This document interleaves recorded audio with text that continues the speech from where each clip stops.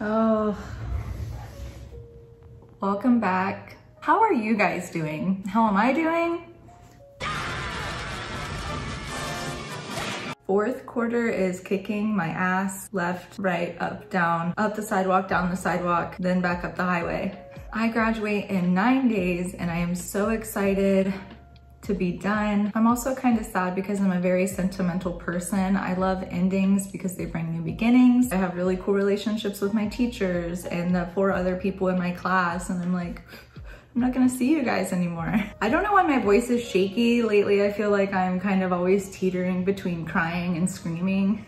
Be patient with me. I want to say thank you for following me along my journey. Thank you for subscribing and liking, commenting all of your questions. A big thank you for being understanding as I transition into this new part of my life, leaving massage therapy school and getting out into the real world, preparing for my MBLEx and getting through these finals, the next nine days. It means a lot and don't be discouraged by my absence from YouTube right now. I still plan on making videos. My attention just really needs to be on my finals. After finals, I'm hopeful I can find my footing, get back to filming and sharing the next part of my journey with you. In this video, I want to share what finals I have coming up and how I'm preparing for them. This week, Wednesday, I have my final clinic and I am going to absolutely cry. After clinic, I come home and I take my MBLEx review final. It's mostly just common sense stuff like ethics, types of massage, things like that. Very simple. Thursday, I have my pathology final final. Then the following week of the 21st, I have my AP4 final and I have my AP review final. And the day of my AP review final is my last day of school. I don't really drink that much, but I'm thinking of getting like 10 bottles of champagne and fireworks just to let it off afterwards for when I pass, because I'm gonna pass.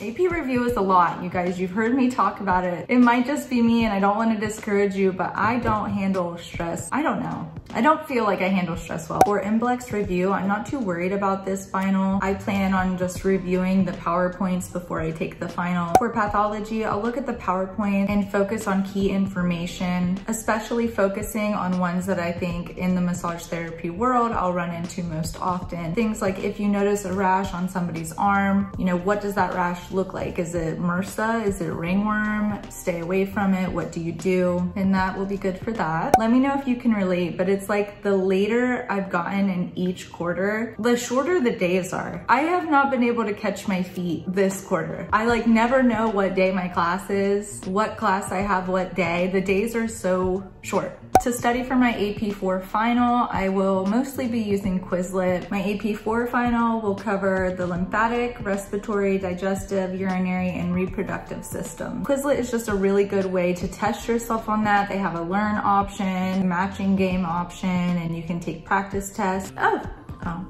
AP review, let me just tell you what's on the test. But I have to read it off my laptop because it's a lot chemical, cells, tissues, epidermis, dermis, bone tissue, bone structure, axial skeleton, appendicular skeleton, joints, muscle tissue, specific muscle, muscle pictures, nervous tissue, spinal cord and nerves, brain and cranial nerves, SMI, ANS, special senses, system effects, specific hormones and organs, blood, heart, blood vessels, the structure of the lymphatic, the function, the specific and non-specific resistance, the structures of the respiratory, the function, respiration, structure of digestion, functions and digestive process, urinary structures, function, and formation of urine.